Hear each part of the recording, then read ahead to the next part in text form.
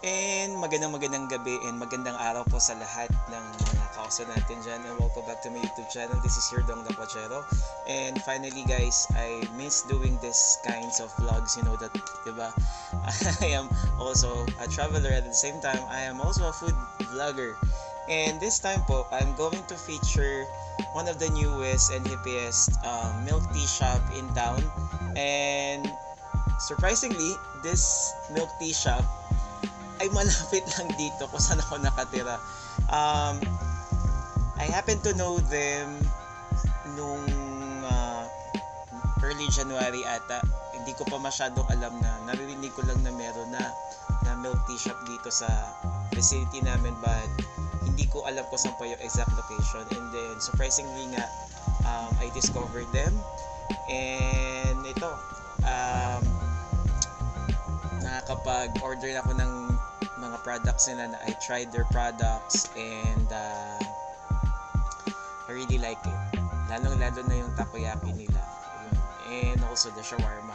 So, um, this is a very um, big opportunity for our channel na ma-feature itong mga ganitong klaseng mga small businesses. You know, I really support um, small businesses, our entrepreneurs. It's time for them to to really um, level up and if there's um, a way for me to help them in my own little ways then I will do it so um, nagpapasalamat ako ngayon pala sa vlog na ito at the start of this vlog nagpapasalamat na ako for this opportunity na ma-feature sila at yun ang magkaganda ang pagkapit bahay mo di and I welcome you guys to FNA Milk Tea Shop. Ayan. At kasama ko po ngayon si Ma'am Emily. Ayan. Say hi po sa kanila. Hello po. Ayan. So, um, kailan po ba nag-start yung FNA Milk Tea? At ano yung naging concept nyo dito ah, sa pagtayo ng ganitong shop? Ah, nagsimula po kami noong July 2, 2020. So, mahilig po kasi ako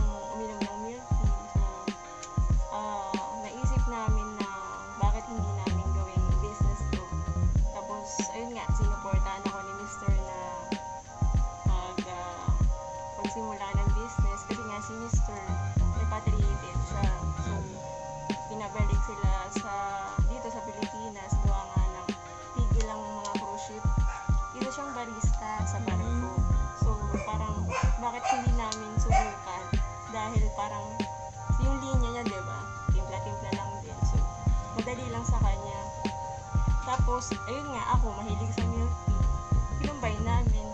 Siya taga, ang barista talaga ng uh. And then, ayun, nagsimula kami, ang unang sumusuporta, syempre, pamilya. And then, so, ayun nga, unti-unti, ah bumili kami ng gamit. Hanggang sa, ayun, nag-boom naman sa FB. Hanggang sa, nagkaroon kami ng card. Yung card na yan, ah bigay lang din sa amin ng ah, kamag-anak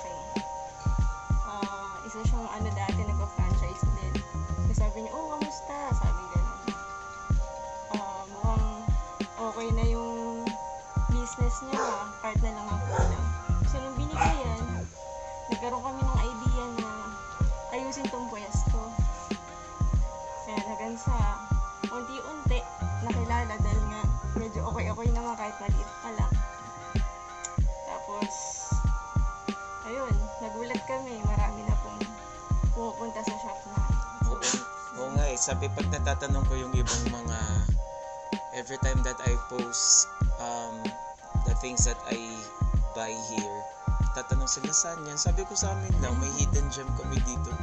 Hindi yan sa bayan, dito yan sa amin. Kaya, kaya natutuwa din yung mga nakakakita ng post ko na meron pala dyan sa inyo, you don't need to go out or to go farther pa, ganyan, ganyan. So, at the start po ba, medyo ano yung mga naging challenges ninyo in putting up this business? Knowing that, kasi syempre, as we all know naman, booming ang milk tea industry in Antipolo. Ang shawar ngayon, yung shawarma dati hindi masyado siyang napapansin. Iilang mga stores lang ang nagsha-shawarma. And most especially takoyaki. Kasi ako, mailig talaga ako sa Japanese food. Wag lang yung mga raw or fresh. Yung takoyaki gusto gusto ko yan. Nung in the past two years, hindi siya masyadong maraming nagtitinda. Eh ngayon nagbo-boom siya. Na nagkaroon po ba kayo ng thinking at the back of your mind na ano po yung mga naging um, challenges ninyo? yan. yan.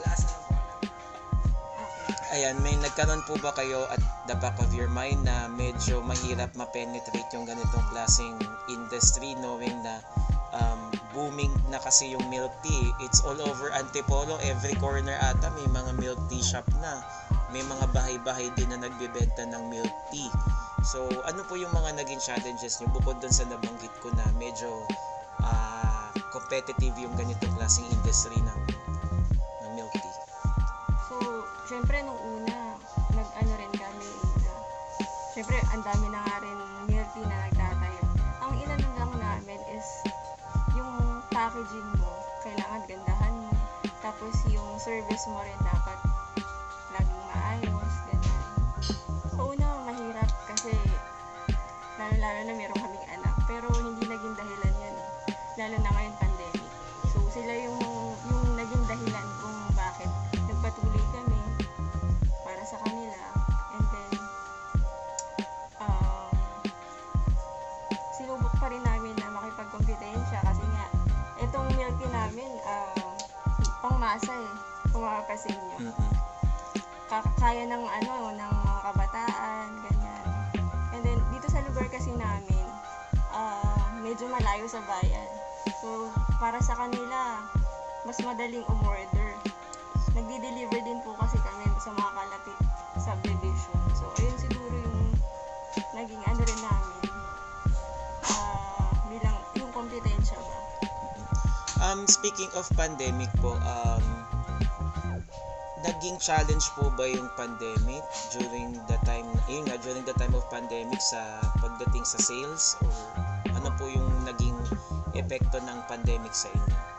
malaki po eh dahil kung hindi po nagkaroon ng pandemic hindi kami matututong mag-business kasi pagka ayun nga pag tumunganga ka lang walang mangyayari In terms po sa ano sa business, ano yung naging epekto sa na, ang pandemic sa business nyo? Naging mas onti ba yung sales nung nag-start last year yung ECQ? Or ano po? tumaas po mas maraming nagpapadeliver kasi ah, lahat ng tao nasa loob ng bahay lumakas ang delivery namin then ayun tumaas and then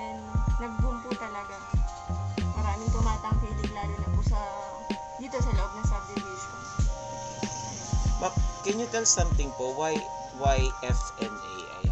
Kalimutan ko yung tanong kanina. Nag-jump na ako sa another question. Bakit po FNA? What's the story behind the the name of the the shop? FNA pangalan kasi ni Mr. yung first letter ng pangalan ni Mr. Francis and ako Angel po yung laging tinatawag sa akin kaya FNA Milk Tea po In terms of branding po, ma'am, how did you um, created the, the branding, yung ganitong look ng logo ninyo and everything, ano po ba yung nasa, naging concept ninyo? Ba, ano yung nasa utak ninyo, tema ninyo pagdating sa branding? and po talaga eh, ako talaga gumawa ng logo no? tapos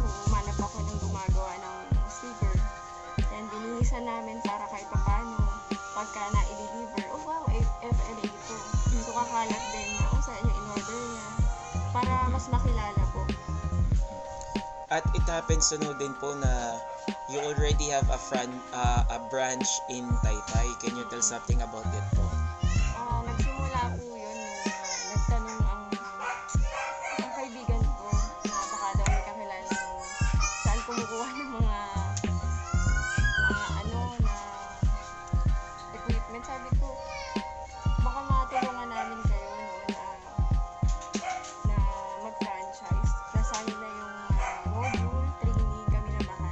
Kay, kayo din po talaga gumawa nung pinaka ah, training plan and everything nung, Opo. nung shop. Bali, operate na lang po nila talaga. Nasa amin na po talaga. Kamusta naman po yung Taytay branch ninyo? Ah, sa ngayon po, malakas naman po sila dahil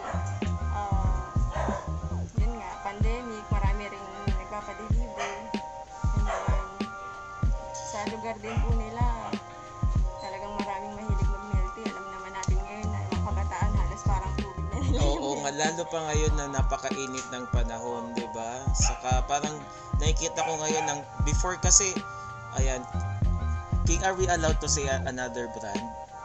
Uh, no, no, yung yung sikat nung during my time nung younger years ko, 'di ba? Meron tayong yung letter Z. You know that? Yung Z, yung may pearls, 'di ba? Bagitin na lang natin yung Zagu, 'di ba? During that time, yan yung nagbo-boom na. Hindi naman siya milk tea, pero more on mga shake siya, 'di ba? Yan yung nag nag-boom talaga. And then pumasok na yan si milk tea. At talagang sobrang nag-expand yung ganitong klaseng cravings ng mga tao when it comes to this kinds of drink. Kasi milk tea kasi um, dati ako nung nung unang nakatikim ako ng milk tea parang sabi ko ang weird ng lasa uh, until such time na nag nag-innovate siya with with different flavors na 'di ba? Nadagdagan na siya ng mga frap or cream 'di ba? Ma'am ano po ang sa tingin ninyo yung edge ni FNA with the other milk tea shops in town? Yung pinaka sa, sa tingin ninyo ay ah, iba sa inyo na talagang maibabrag ninyo ah ganito yung ganito yung sa amin na hindi kagaya sa iba? Sa amin kasi, ah, nilalagyan namin ng ano, design, no? lalo na sa cream cheese po. Hindi lang basta-basta po naglalagay ng, ng cream. So, para po mahikayat yung mga tao na order, nilalagyan namin ng art. Si Mr. ah, nakakagawa sa kape ng latte art, ginagawa rin niya po sa milk tea. So, ayun yung kaibahan. Kasi yung milk tea, iba sa kape.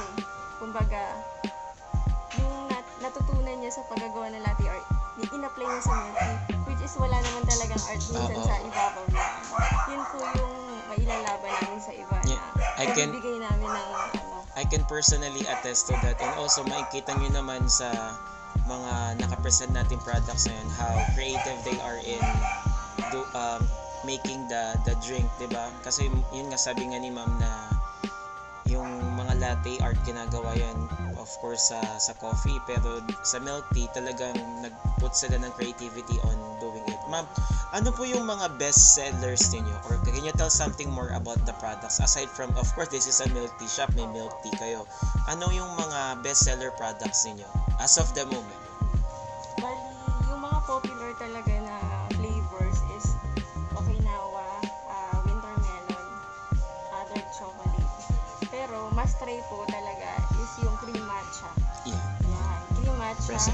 Red velvet, and then yung cookies and cream po. Cookies na and cream. milk tea. Tinatali nyo po ba yan at the end of the day or at the end of the week or month kung ano yung talagang nag pinag-aaralan nyo din po ba yan minsan na nagtinitingnan nyo yung numbers of orders ninyo kung ilan yung, ano yung pinakamabilis sa hindi sa lesser yung sales? Bali, meron po kami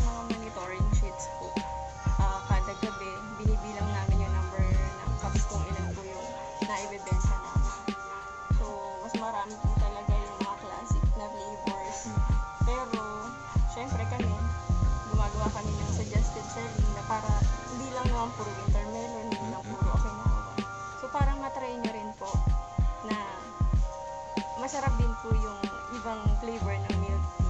Sinasuggest po namin yung yung dapat i-try din para hindi lang puro okay Oo, na. kasi minsan may mga customers na ganyan eh, 'di ba? Kahit ako minsan if I am new to this shop, ano yung best seller ninyo? Anong pwede niyo ma-suggest sa akin? Of course, if you are the the shop owner, so, so you will give the best, uh, you will suggest the best of of your product. Na, ma'am, aside from milk tea po, ano pa yung mga meron kay FNA?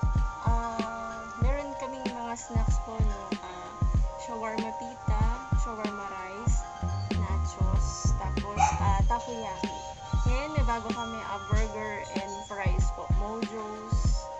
Ayun, Mojo's. Ayan, kasi ako parang nasabihan ko sila or natanungan ko sila guys na sabi ko hindi naman ta- syempre kasi 'di ba you know kung pag, pag if you are patronizing a certain store 'di ba alam mo na yung paborito mo pero minsan 'di ba naghahanap ka ano sana meron silang bagong ganito na i-try natin so sab nagtanong din ako before, sabi ko, magkaroon kaya sila ng burger?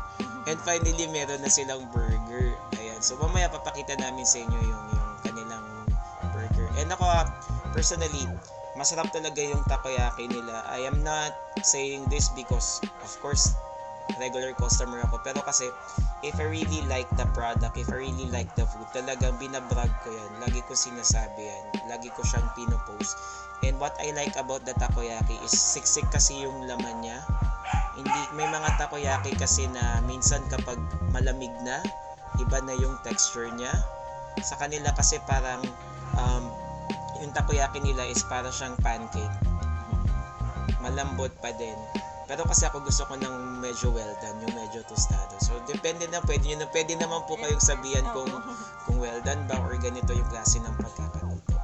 Ma'am, um, may vision po ba kayo in the future? What are your plans as of the moment? Meron ba kayong mga plano in terms of expansion or magdadagdag ba kayo ng mga bagong products?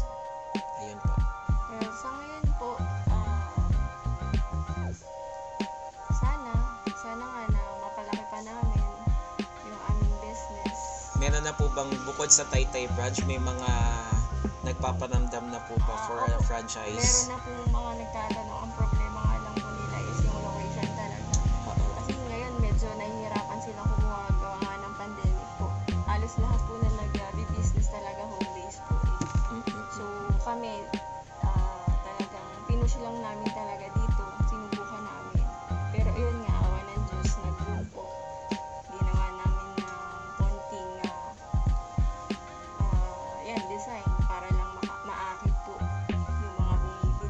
Pero in the near future po ba, are you planning to put up talagang na yung stand-alone na store wherein may may lamesa, may chairs, may may ganun po ba kayong plano? Ah, darating din po sa ganyang ano. Nagbabalak din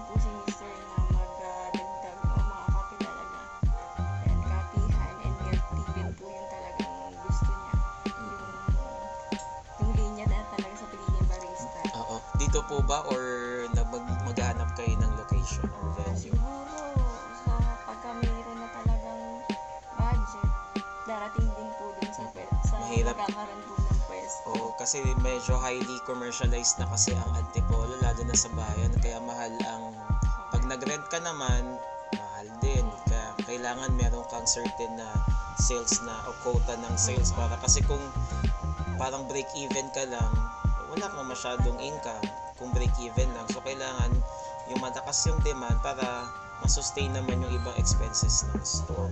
Ayan, so so we have here ito yung mga products. Kanina na shoot na namin yung ibang products dito. Siguro si Sir Francis ang makakapagsabi ng mga products na to, 'di ba? Ayan. So ano po ito? Ah, Oreo dark chocolate. Oreo dark choco and then we have here ito frapto no. This is Dark chocolate. frap and then this one Ah, winter melon. winter melon and Ito cream matcha. cream matcha. So, tikman natin sila. May straw po ba tayo? Sige. Tikman natin. Okay ka lang, King. Ngayon, a special shoutout nga pala kay ah, King Get Labayan and also the Director Scott Production for allowing me again. Ang dami ko ng utang sa inyo. At nagpapasalamat ako pala sa segue na natin.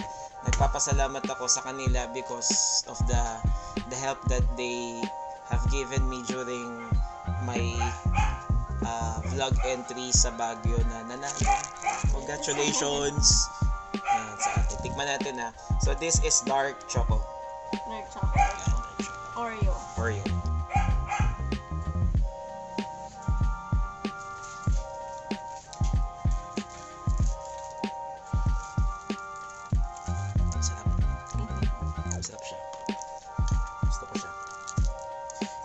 Masasabi ko masarap. Um, typical na yung of course uh, dark chocolate and then with Oreo. Ang masarap dito, gusto ko kasi pag ganito mga klaseng flavor ng chocolate. Although hindi ako choco, choco lover ah, nung nagbago yung taste palette ko kasi nung nagkakasakit ako sa sa tiyan ko. nag-iiba, nag-iba yung taste palette ko. Kaya di ba sabi ko sa iyo lagi, padagdagan naman ng maanghang, maanghang. Every, even ice cream and cakes, kahit naka-display yan lahat, bihira yung um, cravings ko when it comes to sweets. Kaya di ba, alam nyo yung madalas kong ino-order, hindi masyadong matamis. Pero this time, ang gusto ko dito kasi, um, nanunuot kasi yung lasa. Yung aftertaste kasi ng chocolate, minsan may mga taong ayaw nila yung aftertaste ng chocolate kasi may parang bittersweet siya. Pero ito, okay siya.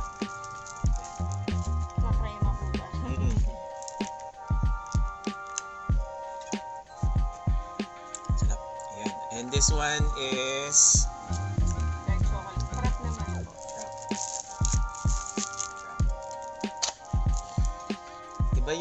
mga ibang bagets, ang ginagawa nila pag may frap, inuuna muna nila yung, yung cream.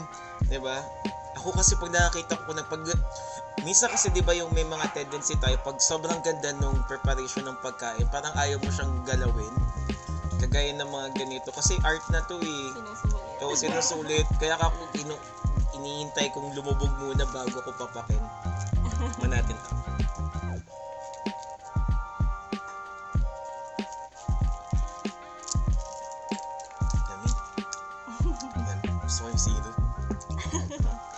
Gusto mo? King, abuti mo.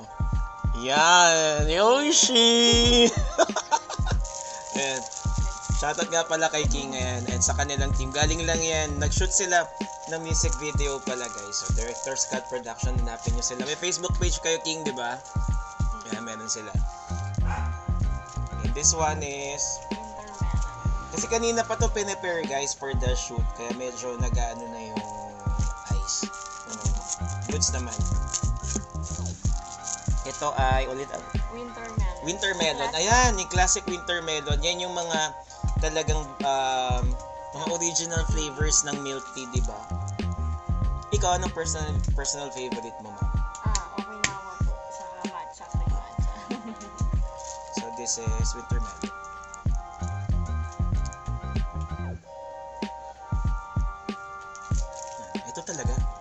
Classic milk tea. Kilalang kilala. yan. Kilalang kilala. Kahit saan ka pumunta. Yun talaga. Sarap, sarap, sarap. Lagi in-order. Yes, yes. Kahit sa milk tea shop talagang hindi nawawala yung yung flavor na yan. Number one yan. And this one is matcha with cream cheese. Ayan. Ito yung mga na, na bagong nadagdag sa mga flavors ng milk tea. Naglalagay na sila ng cream cheese. Ako gusto ko yung mga ganitong lasa kasi I really like flavors na may combination. Na hindi lang sweet. Ito kasi pag may cream cheese, may a little bit of saltiness siya, di ba? Ayan. Minsan nagtatanong pa ako pag sa ibang milk tea shop, dagdagan nyo yung cream cheese kasi papapakin ko. Minsan naglalagay na din sa pasta ng cream cheese eh sa toppings, kaya masarap.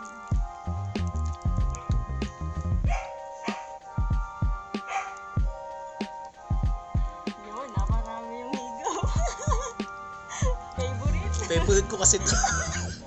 Lagi ko kasing ino-order to guys, yung matcha nila. Kung hindi matcha, taro. Yun, kasi hindi masyadong matamis. Kaya, ayan. Natanong ko pala ma'am, may ibang milk tea shop that they are asked, uh, they, the, they ask the customers kung anong percentage ng kanilang sugar level. Kayo po, paano ang take nyo doon?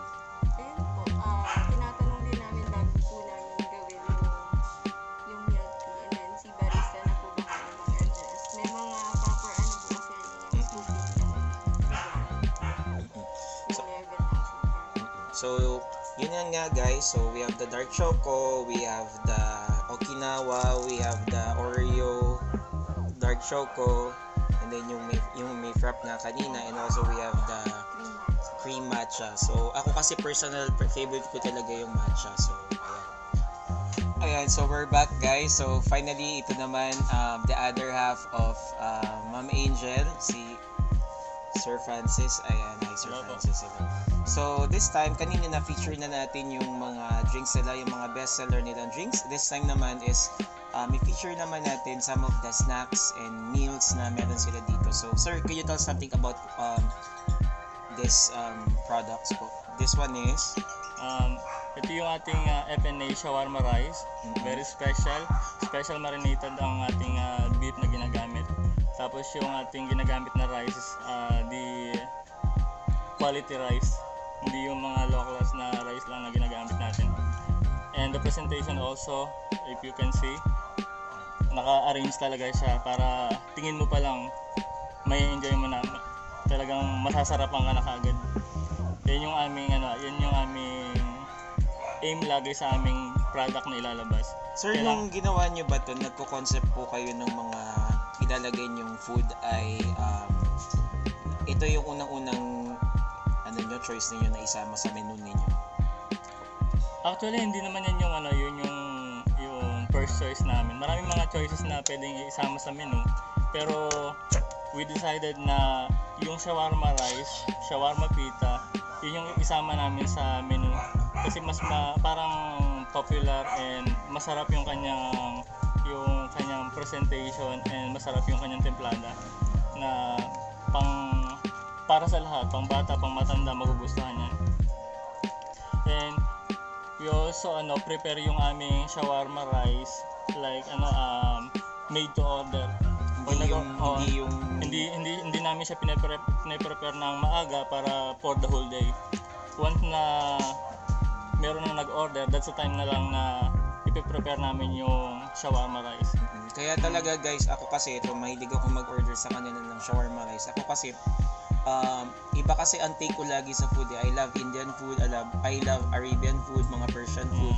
Gusto ko kasi yung spices and yung shawarma rice sila talagang when they deliver it, um, you, ha- you really have to to wait. Ka- Kasi kailangan talagang ma-prepare nila ito ah, ng fresh saka yung talagang mainit na mainit kasi ma malalasahan mo naman yung kanin kung sinaing na ba ito ahead of time or may ilang hours na na nakatenga yung kanin kahit ininit siya alam alam natin yun kasi mga rice eaters tayo alam natin yung texture ng kanin and and also masarap talaga yung sauce nila really love the Mm. sauce We use the ano the uh, garlic mayonnaise and melted cheese. And we put also a little um, hot sauce and garnish with chili powder para mas katakam-takam yung kanyang. Lahat ng gulay na ginagamit namin fresh cut yan. Yung pepino, kamatis at saka yung onion. We also put a little um tawag dito lettuce. lettuce Ah, wala lettuce para sa para mag magkaroon siya ng green look, fresh look. More appealing. Yan. And then, at isa sa kanila ding mga bestseller products is yung kanilang. So, yan. Can you tell something about ano yung kakaiba sa takoyaki ni FN? Very authentic FNA takoyaki. Meron meron tayong ah, three flavors. We have crab stick, ham and cheese, and octobits. Itong takoyaki namin, we guarantee you na magugustuhan mo. Hindi ka magsisisi pag ito natikman mo. Fresh, fresh made yan when you order. And kahit yan ito magal sa sa lamesa mo, still soft yung ano yung pagkatakoyaki niya. Hindi siya nagiging dry. Kung kung nagugustuhan niyo yung ah, texture ng pancake, very soft. When you taste our uh, FNA takoyaki, ganun ganun yung lasa nun. Guys, totoo. Kahit lumamig siya kasi minsan late na kasi ako nagdi-dinner at, 'di ba? So pag ako nag-stream ako sa page ko, pag nagbibigo ako, ayan, yan ito yung kinakain ko after kong mag mag-stream. Eh di, lumalamig siya pero kahit malamig siya, masarap talaga siya. Kaya saka ang sarap ng sauce nito. Yan. Yan pa rin yung pinagmamalaki ng FNA. Sarap ng Hindi sauce. hindi namin tinitipid yung ingredients. Kung ano yung binayaran mo, makukuha mo yun. Tapos, Hindi siya kumbaga parang kumita lang kami ng malaki. mm, Magbigay namin yung basta-basta na pagkain. Sa amin, kung ano yung binayaran mo, uh, we will guarantee you na yun yung presyo niya. Hindi namin titipirin. Yan. Sir, natanong ko kanina si Ma'am Angel na kung ano yung mag, ano pa yung mga vision ninyo in the future, ano pa yung mga balak ninyo. Yan, pwede nyo po bang dagdagan? Ang vision lang namin is yung mapala- mapalago yung aming business. Ma- dumami yung FNA, makilala nationwide. So nag-uumpisa na to, nagkaroon na kami ng isang branch sa Taytay and marami pa nag inquire Ang kailangan lang namin i-prepare yung sarili namin para sa malas, mas malaking ano, mas malaking ah, ah, responsibility. Kasi yung magkaroon ka ng maraming branches, mas malaking responsibility yun eh. Oo, kasi Kaya we're still preparing ourselves para sa mga ganung bagay. um, meron po ba kayong mga um, plans na magdagdag ng mga bagong products? Kasi natanong ko din yan kanina kay Ma'am Angel. eh. Oo. ang, Ano, ang, ano ang- pang mga nasa isip ninyo na idagdag din yung mga bagong product? yung mga ano, kasi yung concept naman ng ng gantong ano, gantong business is continuous. Hindi kami hindi kami tumitigil sa isang product lang and then uh, for for a lifetime na. Magkakaroon kami ng classic menu and then magkakaroon kami ng mga additional menu. Eh katulad niyan, meron kami mga bagong uh, items sa snacks like mojos, plain mojos and uh, coated mojos. Dinagdagan na rin namin ng ng uh, french fries yung french fries namin is uh, also quality because of the ano yung mga powder na ginagamit namin hindi siya mumurahin and then yung burger namin if you if you see it in the ano yung pinopost namin sa ano sa page namin talagang uh, present, presentable naman siya kasi gawa yung mga packaging namin yun yung number one na ginagawa namin dapat yung packaging namin is quality kaya naghahanap talaga kami ng magagandang packaging para yung yung pagkain safe and then presentable pa rin na darating sa bahay mo. Especially, especially ngayon, puro kami ah, delivery. Yan yung ah, naitulong sa amin ng pandemic kasi lahat ng mga mga product na ginagawa namin is more on ah, delivery ng ginagawa, ginagawa namin. Kaya nagkaroon kami ng, ng partnership sa Food Panda, sa Grab, Yan. And we have also the uh, Dabex, yung bago namin na partner na i-launch namin sa siguro a few days more kasi still preparing. And then yung personal naming um, rider, which is ako rin. Kaya we make sure na yung pagkain na orderin nyo makakarating sa inyo ng maayos. Yan. I was about to ask ka kung paano kayo mahahanap yan. Can you please invite them, sir? Bukod doon sa mga nabanggit natin ng mga app kung saan kayo pwedeng, kung pwedeng, saan pwedeng maka-order yung ating mga customers and viewers. um, para sa mga new ano new customers at sa mga friends and family ng mga mga da- dati nating mga regu- or mga regular nating customers um, makikita niyo yung FNA Milk Tea or ma marireach nyo kami sa page namin, FNA Milk Tea page and meron na dun mga contact na pwede kayo mag-message pero we recommend na magme-message kayo dun sa FNA Milk Tea page para mas marami kami makakakita. Kasi um, apat kami na connected dun sa pages na yun. So once na may nag-order, mas marami kami makakakita. Compare dun sa number ng cellphone, halimbawa ako, yung number ko or number ni Mrs. Once na nag-text kayo sa akin, and nasa delivery ako, hindi ko kagad kayo ma, ano, ma-replyan. So we recommend na mag-message kayo doon sa FNA Multi page. Saka very responsive naman sila Mm. guys. Very responsive sila. Um, sir, invite natin sila sa invite natin ang ating mga viewers and new customers, new upcoming customers. Um, we invite every every one of you na mag-visit kayo dito sa aming ah, simple and very um, fancy setup dito sa ah, Empress Subdivision. Uh, malolocate nyo lang kami pagpasok nyo ng gate, kanan lang kayo and makikita nyo na kagad kami. Dulo lang kami ng street and napakatahimik. And don't forget to watch and subscribe uh, Dong Lak Watchero Nag-segue na. for always supporting FNA Melty. Yan, you always have my support. Well, lagi ko naman sinasabi yan ever since, di ba? Pag, Our ano, uh, regular regular If, if I customer. really like the product, if I really like the store, talagang lagi ko siyang iba ibabrag. And since you already um, say something about that, sir, um, um, nagpapasalamat ako sa inyo for giving me this opportunity and for our team na ma-feature po yung shop ninyo.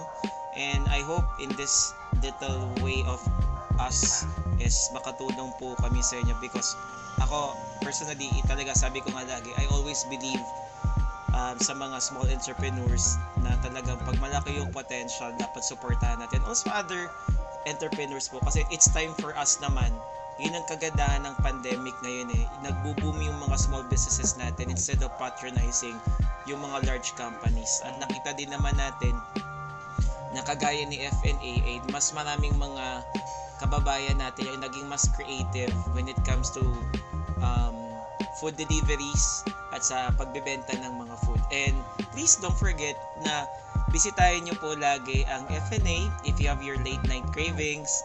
Ay, sir, nagtatanong pala, may mga nagtatanong sa akin, hanggang anong oras daw po ang last order ninyo at anong oras din nag start ang order? Yun, FNA, ano, FNA Milk Tea is already open at 1 p.m. and then until 10 p.m. So, yung mga gustong humabol ng order, makaka-order sila ng, ng milk tea or snacks until 10 p.m. po. Yan. But the uh, d- delivery, our delivery is only until uh, 8 o'clock outside the Empress subdivision. Pero inside sub- subdivision naman, okay lang until 10. So, pwede naman silang, paano po sir kung mag-order sila hanggang 10? Eh di, Preparation is ano, mga 10 to 15 minutes and then we will deliver it. Kayo na po yung magdi-deliver mismo. Mm. Kasi nakaset na din kay Food Panda kung ang grab Mm. ko hanggang anong oras. Oo. ang Grab food namin and Food Panda is also until 10 o'clock also. So ayan guys, um, don't forget to follow them on their um, Facebook page. That's FNA Milk Tea. Oo. Ayan, at din din sa mga friends natin na nasa Taytay. Ayan, saan po ba yung exact location? I-promote din natin sila. Syempre, kapatid na branch yun, di ba? Um, yung ano namin, yung branch namin sa Taytay, makikita nyo sila sa may Costalina, Taytay, malapit lang sila sa may pinakang munisipyo. Dati munisipyo.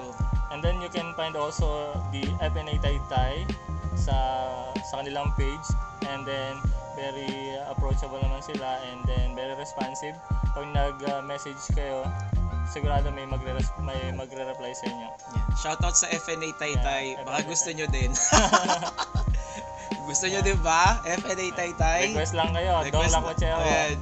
Yan. So, again sir, thank you so much po kay Ma'am Angel na nagno-nurse na ng kanyang mga babies. Maraming maraming salamat po sa inyo sir. This is a very big opportunity for me and uh, and for also for my for my social media accounts and my YouTube channel. And please guys, um, follow them on their Facebook page. That's that's FNA Milk Tea.